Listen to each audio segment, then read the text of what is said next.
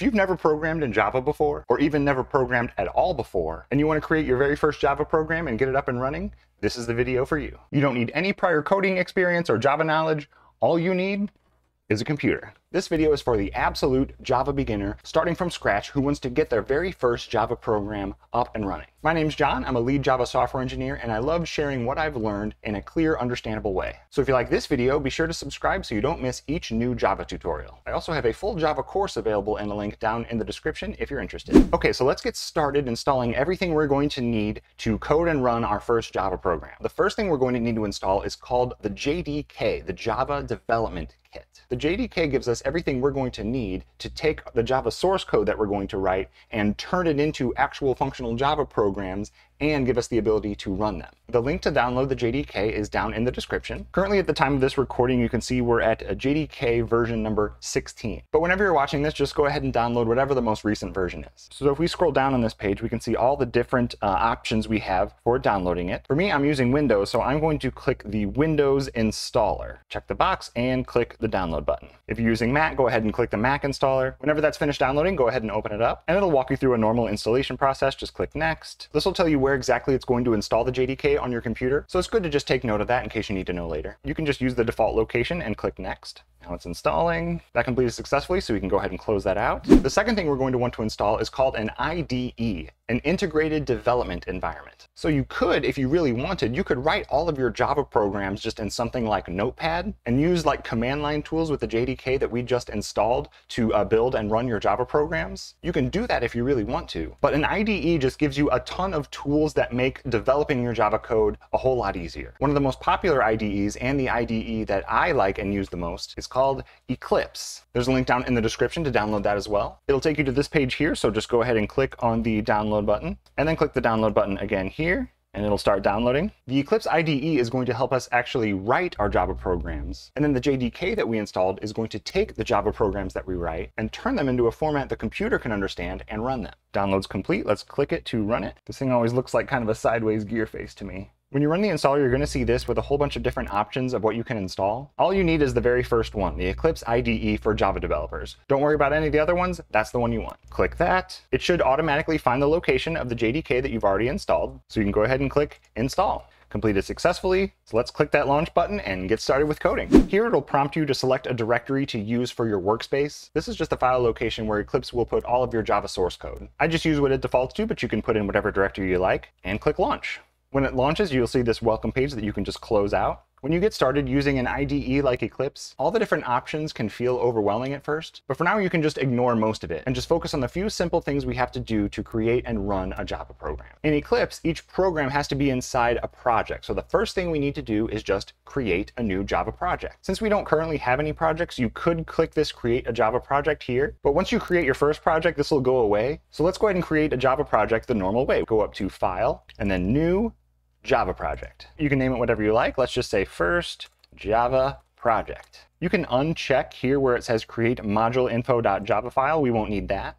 And then click finish. So over here is where we can find the first Java project that we created. This Package Explorer tab is where you're going to find all of your projects and individual Java program files that you create. So what we can do is click this little caret to expand this project. And you'll see two folders inside, this JRE System Library folder and the SRC folder, your source folder. The source folder is going to be the important one. That's where we're going to put all the source code for our Java program. So to create our first Java source code file in our project, we're going to right click this source folder and then go to New, and then Class. For now, it's fine to think of a Java class as just a fancy name for a Java source code file. You can give it whatever name you like. We'll just call it first uh, Java program. You're also going to want to check this box where it says public static void main string args. We'll talk more about that in just a second. For now, go ahead and click finish. And it'll create this first Java program .java file. Let's go ahead and blow this up a bit so you can see it better. Let's talk a little bit about what it automatically put in this file. At the very top here, we see this public class first Java program. This is just called a class declaration and every Java file will have it. It just says here is a Java file called first Java program. And then you see these curly braces here. Everything in this class is going to be enclosed between those curly braces. Next, we have this public static void main string args thing. There's a whole lot of complicated looking programming terms in it, but all you need to know for now is that it's called the main method. And inside this main method's curly braces is where you're going to put all the commands that you want to run for your program. And if you're too curious about what all of this stuff means, I have another video here fully explaining this main method. When it generates this file, you'll see this uh, to-do auto-generated method stub. This is what's called a comment. It's automatically generated and we don't need it, so we can just go ahead and uh, remove it. Inside this main method is where we're going to put all the commands that we want our program to run. When we tell it to run the program, it'll run through all the commands in our main method, and once it reaches the end of our main method, the program will end. The very first program everyone writes is just called hello world. So we'll do that now just because it's kind of a rite of passage, everybody has to do it, but then we'll do something a little bit more interesting also. So this will just have the program print out the words hello world. Here's the command to have Java print out some text. It's system with a capital S dot out dot print ln, and then an open parentheses, and inside these parentheses is where you're going to put whatever text you would like the program to print out. And you have to put that text in quotes. So here we'll have in quotes, hello world. Then we have an end quote and a close parentheses, and then a semicolon at the end of the line. In Java, every single statement has to end with a semicolon. After you've typed that out, go over and click the Save button to save your program, and then click this green arrow, which is the Run button, that will run your program, so let's see what it does. All right, it printed out the words, Hello World. Congrats, you coded and ran your very first Java program. A few things to note, uh, in Eclipse, whenever you print something out in your Java programs, it's going to show up in this little window here called the console. You might hear this referred to as uh, the console output. Another thing is that Java is case sensitive, so if you have happen to mess some of this up and make something capital that shouldn't be, you're going to get errors. But a cool thing about using an IDE like Eclipse is that if you make a mistake and code something that doesn't make sense in the Java language, like say we just had a print n instead of print ln, Eclipse gives us this like red squiggly line, kind of like if you misspell something in Word. So we know we have an error in our program, and Eclipse even gives us some suggestions on how to fix it. So here it suggests, oh, we could change it to print ln, and we can click it, and it automatically fixes the code. Now that we've coded the Hello World program, let's do something a little bit more interesting and uh, create two numbers and have Java add them together and tell us the total. So let's get rid of this hello world line.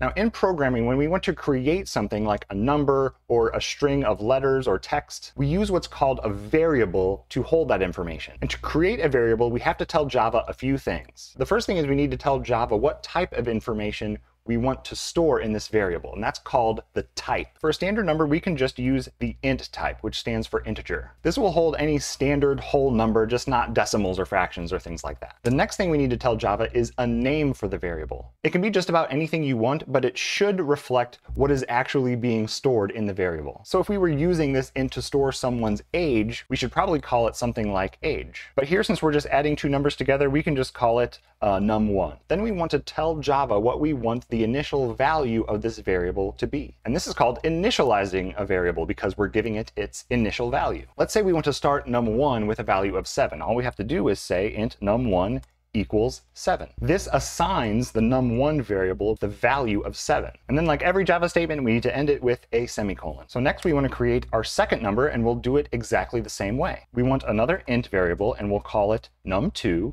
and we'll initialize it with the value of 5 semicolon to end the statement. So now all we've done is declared and initialize our two numbers. So what we can actually do is create a new int variable, we'll call it total, and we want to initialize its value to be the sum of those other two numbers. And to do that, we can just say num1 plus num2 and end with a semicolon. This will take the values that are currently assigned to num1 and num2, which are 7 and 5, and add them together and store that result in this total variable. So after this line in the program, this total variable will have the value of 12. Now we just need to print out the result. We'll print out the same way we did before with just system.out.print ln. So if we want to print out this total variable, we'll just put in total.